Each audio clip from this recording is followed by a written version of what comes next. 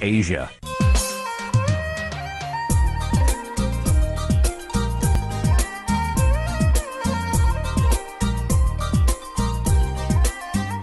វេទិកាអ្នកស្ដាប់វិទ្យុអាស៊ីសេរី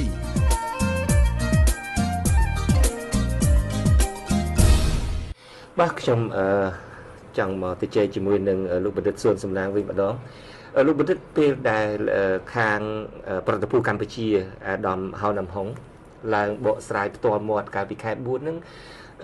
លោកបណ្ឌិតមានសង្កេតឃើញថាយើងមានចំណុចខ្លាំងបែបណាដែរដើម្បីទៅតទល់នឹងការបកស្រាយផ្ទាល់មាត់របស់ភាគីថៃបាទសូមអរគុណបាទនេះជាសំណួរមានសារៈសំខាន់ពីព្រោះដែរ យើងឃើញថាយើងដើរតាមនីតិវិធីមួយដ៏សមស្របហើយខ្ញុំសូមលើកយកនៅខ្លឹមសារខ្លះនេះសូមតាមថាបងអាដាមហោដំហុងនៅក្នុង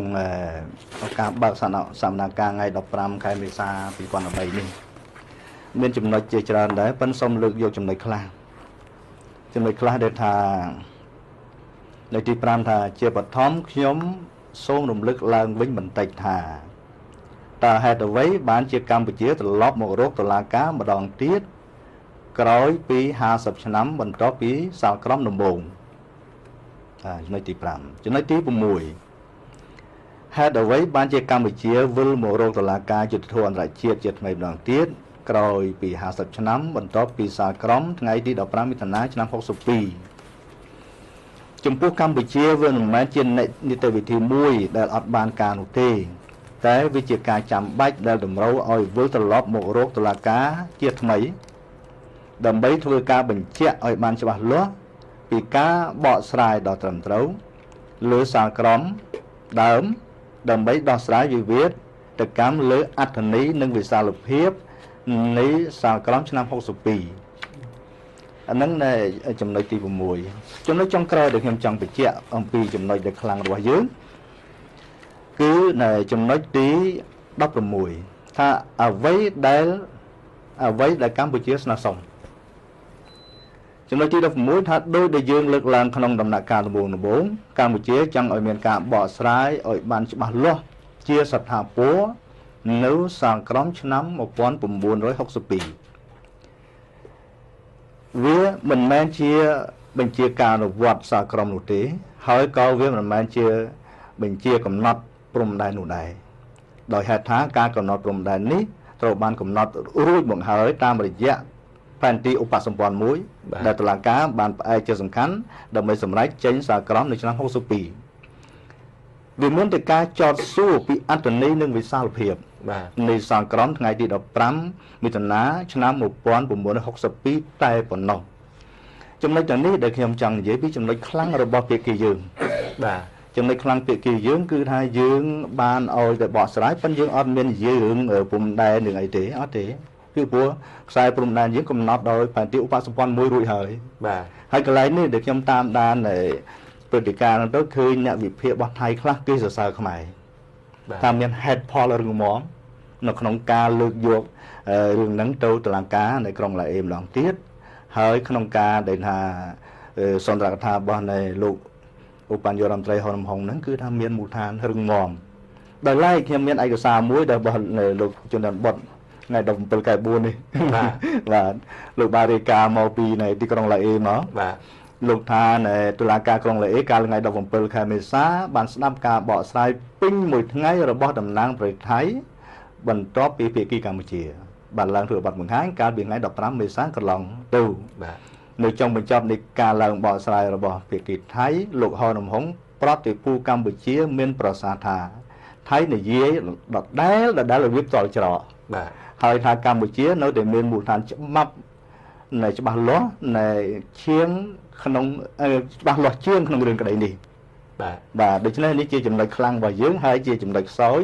របស់ថៃពីព្រោះថៃអត់មានអីបកទេ ចូលកាលនឹងខ្ញុំបានទៅក្រុងឡាអេនឹងដែរខ្ញុំបានស្ដាប់ពេញទាំង4ថ្ងៃនឹងថៃបានយកផែនទីច្រើនណាស់យកមកបង្ហាញរហូតដល់អ្នកដែលឡើងបង្ហាញផែនទីអ្នកច្បាប់ស្រីម្នាក់នឹងមេធាវីស្រីម្នាក់នឹងคล้ายទៅជាតារាល្បីប្រចាំប្រទេសថៃគេពេញចិត្តគាត់គ្រប់គ្នាហើយតើលោកបណ្ឌិតគិតយ៉ាងម៉េចដែរនៅពេលដែលគាត់យកផែនទីទៅបកស្រាយនៅក្នុងតឡាការពេលពីខែ4នេះបាទ បាទសូមអរគុណណាស់នៅចំណុចខ្លាំងរបស់យើងដំណំឆ្នាំគឺផែនទីឧបសម្ព័ន្ធមួយបាទដែលលោកជំនាញបតបានជំរាបជូនបងប្អូនហើយផែនទីឧបសម្ព័ន្ធមួយនេះគឺជាផែនទីយើងដាក់ភ្ជាប់ជាមួយពាក្យបណ្ដឹងឆ្នាំ59ហើយដល់ពេលតឡាការយកទៅផ្ទៀងផ្ទាត់ទៅឃើញថាផែនទីហ្នឹងជាផែនទីត្រឹមត្រូវបាទដែលយើងដាក់តាំងពីឆ្នាំ59ទៅនឹងជាប់ពាក្យបណ្ដឹងរបស់យើងដល់ឡែក ថៃក៏អត់មានផែនទីនេះទេផែនទីដែលគាត់ដែលធ្វើឯកតោភាគីហ្នឹងគាត់ធ្វើនៅឆ្នាំ61ហើយបាទបាទពីព្រោះតែគាត់ខ្ញុំមើលទៅដូចជាមិនបានត្រៀមខ្លួនអីផងឡើងតឡាការទេបាទបាទដល់ព្រោះគាត់គិតថាតឡាការគ្មានយុត្តាធិការលើគាត់ទេបើគាត់គិតចឹងបាទបាទពីព្រោះគាត់សំអាងលើរឿងនៃអ៊ីស្រាអែលនិងប៊ុលហ្គារីរឿងនៃឧបតហេតុ ដែលប៊ុលហ្គារីបាញ់យន្តហោះអ៊ីស្រាអែលធ្លាក់លើស្លាប់អស់ជាង50នាក់ឆ្នាំ55 1957អ៊ីស្រាអែលប្តឹងទៅប៊ុលហ្គារីហើយឆ្នាំ1959នៅតុលាការអន្តរជាតិកាត់ថានៅតុលាការអន្តរជាតិមិនមានយុត្តាធិការលើប៊ុលហ្គារីទេប៊ុលហ្គារីរួចខ្លួនហើយប្រហែលជាថៃគាត់គិតចង់ថាឲ្យបានរួចពីយុត្តាធិការរបស់តុលាការក្រុងឡាអេដែរប៉ុន្តែនៅពេលដែលថ្ងៃទី26 ឧសភា1961គឺមានការសេចក្តីសម្រេចលើយុត្តាធិការពុទ្ធលាការក្រុងឡាអេនឹងមានការកាត់សេចក្តីពីរដងកាត់សេចក្តីលើកទី1គឺធ្វើការសម្រេចលើយុត្តាធិការនៃតុលាការនេះលើប្រទេសថៃបាទបាទយុត្តាធិការឬថាសមត្ថកិច្ចរបស់តុលាការអន្តរជាតិលើប្រទេសថៃគេរកឃើញថាតុលាការនោះមានសមត្ថកិច្ចមានយុត្តាធិការលើប្រទេសថៃកាត់ទី1ឆ្នាំ61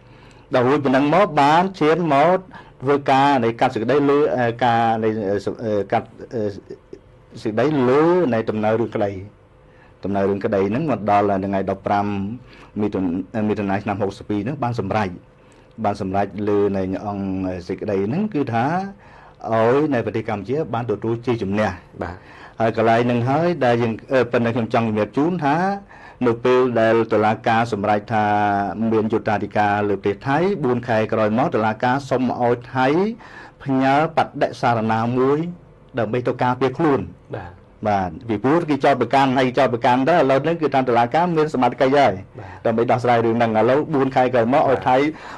ធ្វើឲ្យបដិសារណាការពារខ្លួនគាត់ភ្ជាប់នៅផែនទី1ទៅដែរបាទផែនទីដែលហៅថាឯកតោភាគីហ្នឹងបាទបាទគូបាទ ផែនទីកន្លងទៅបង្ហាញកាលពីបាទបាទផែនទីហ្នឹងហើយផែនទីនេះគឺធ្លាប់បដិសេធបាទតឡាការអន្តរជាតិធ្លាប់បដិសេធអត់ទទួលស្គាល់ហើយផែនទីហ្នឹងហើយដែលមានអា4 6គីឡូម៉ែត្រហ្នឹងពីពួកខ្សែព្រំដែនគាត់រត់ចូលមកដីខ្មែរម្ដុំមកចូលម្ដុំតំងមកហើយជាវត្តកែការគិរិក្រហើយគាត់ស៊ីតាមជើងនៃភាសាជាងទៅឡើងលើជើងទៅបានពាត់ទៅនឹងទៅឃើញថាគាត់ គូផែនទីឯកតោភាគីហើយដែលមានទៀមទាដី4.6គីឡូម៉ែត្រការ៉េហ្នឹងដែលតឡាការបានបដិសេធតាំងពីឆ្នាំ62នោះអញ្ចឹងលោកសាស្ត្រាចារ្យមិនគិតថាតឡាការនឹងយកអផែនទីឯកតោភាគីរបស់ថៃនឹងយកទៅពិចារណាទេ បាទជាជាថ្មីម្ដងទៀតដុល្លារការមិនអាចយកផែនទីនឹងទេពីព្រោះជាផែនទីឯកតោភាគីដែលគេទាត់ចោលពីឆ្នាំ62រួចមកហើយអរគុណលោកបណ្ឌិតពេលនោះខ្ញុំបាទក៏នៅពេលដែលលោកឧបនាយករដ្ឋមន្ត្រីហៅនំហុងបានបកស្រាយផ្ទាល់មាត់ចប់ហើយខ្ញុំបាទក៏បានសម្ភាសគាត់ដែរថាតើគាត់មានអឺ ទំនុកទុកចិត្តបែបណាដែរថាចំពោះរឿងក្តីកម្ពុជានេះលោកបានមានប្រសាសន៍ថាគាត់មានទំនុកទុកចិត្តក៏ប៉ុន្តែចំណុចដែលខ្ញុំបានចាប់អារម្មណ៍ខ្លាំងជាងគេនឹងគាត់គិតថាបើសិនជាតឡាការក្រុងឡាអេនឹងមិនវិនិច្ឆ័យទៅផ្អែកទៅកត្តានយោបាយទេកម្ពុជានឹងអាចឈ្នះខ្ញុំចង់ចាក់សម្លេងរបស់អាដាមហៅនំហុងពេលនឹងជួយលោកអ្នកស្ដាប់ហើយជួយលោកបណ្ឌិតស្ដាប់បន្តិចដើម្បីខ្ញុំសួរសំណួរបន្តបាទសូមជឿស្ដាប់បាទខ្ញុំសង្ឃឹមថាបើសិនតឡាការផ្អែកលើច្បាប់សុទ្ធសាធ គឺថាតុលាការនឹងបកស្រាយទៅតាមអ្វីដែលយើងលើកតលហើយកច្បាប់ជូនតុលាការលើកលែងតែតុលាការមិនផ្អែកលើផ្លូវច្បាប់យយកកត្តានយោបាយមកគិតគូរអាហ្នឹងខ្ញុំមិនដឹងទេមិនដឹងខ្ញុំមិនអាចទីមុនតែតុលាការសម្រាប់ថាមិនទេក៏ប៉ុន្តែបើសិនជាតុលាការផ្អែកលើផ្លូវច្បាប់សុទ្ធសាធតែយើងលើកយ៉ាងគ្រប់គ្រាន់ទាំងអស់គ្រប់ទស្សនវិជ្ជាទាំងអស់យើងនឹងមានការសង្ឃឹមថាតុលាការនឹងបោះស្រាយបាទអឺខាង កម្ពុជាអឺអាដាមហៅនៅហាក់ដូចជាមានការព្រួយបារម្ភខ្លះថាខ្លាចតុលាការនឹងមិនឯករាជ្យពីព្រោះតែផ្អែកទៅតាមអឺនយោបាយគឺមិនឯករាជ្យហើយតើអាចតុលាការអឺកម្រិតពិភពលោកបែបនេះអាចមិនឯករាជ្យទេអឺលោកបណ្ឌិតហៀងរិទ្ធីបាទសូមអរគុណលោកជនល្បុតម្ដងទៀត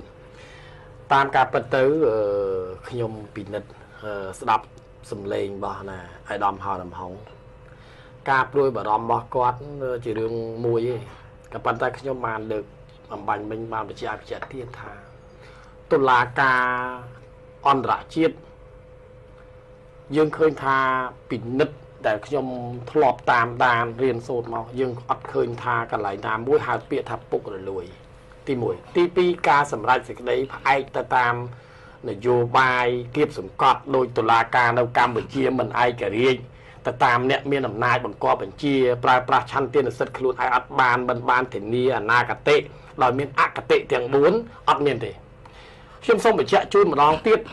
អឺដើម្បីបងប្អូនជនរួមជាតិទាំងក្នុងទាំងក្រៅប្រទេសបានជ្រាបថានីតិវិធីបកអន្តរជាតិដោយខ្ញុំបានលើកចឹងថាពីមុនយើងមានតឡាការយុតិធធអន្តរជាតិហៅថា ICJ ប៉ុន្តែឥឡូវនេះគឺមានតុលាការព្រហ្មទណ្ឌមួយទៀតហៅថា ICC ហៅ International Criminal Court ដូច្នេះនៅក្នុងនោះគឺបានបញ្ចូលតាំងពីអនុសញ្ញានៅចិនសិនវ៉ាបានបញ្ចូលតាំងពីអឺកិច្ចការពាក់ព័ន្ធនឹងធម្មនុញ្ញអង្គការសហជីវជាតិកតិកាសញ្ញាអនុសញ្ញាដែលផ្អែកមកលើច្បាប់ព្រហ្មទណ្ឌអន្តរជាតិពាក់ព័ន្ធលើវិស័យយោធាប្រទេសភាគីណាដែលបានរំលោភទៅលើភាគីអឺប្រទេសណាមួយនោះ អញ្ចឹងយើងទាញមកវិញថាប្រទេសថៃនេះបានរំលោភហើយអញ្ចឹងយើងងាកមើលសាលក្រមសិនសាលក្រមនេះអត់មានផ្អៀងទេព្រោះតឡាការណាអន្តរជាតិកាលណាក្រោយពីគេសម្រេចហើយដូចអាយដាមបានមានប្រសាសន៍បាញ់មិញថានៅក្នុងឆ្នាំ1959នោះបកូណាព្រះមហាវីរក្សត្របានបញ្ជូនអាយដាមច័ន្ទយុរ៉ានទៅធ្វើជាតំណាងប្តឹងណាបានប្តឹងឲ្យតឡាការអន្តរជាតិក៏បានទាត់ចោលនៅរាល់តលហីកទាំងឡាយ មានន័យថាផោះតាំងទាំងឡាយដូចជាការគូណែផែនទីដោយឯកតោភាគីរបស់គាត់មិនមែនជាតលហីកស្របច្បាប់មិនស្របទៅនឹងពរណភាពទឹកដីកម្ពុជាដែលមានផែនទីបកូណាទាមទីឯករាជ្យបានឆ្នាំចន្លោះឆ្នាំ1933ដល់ដល់ដល់1954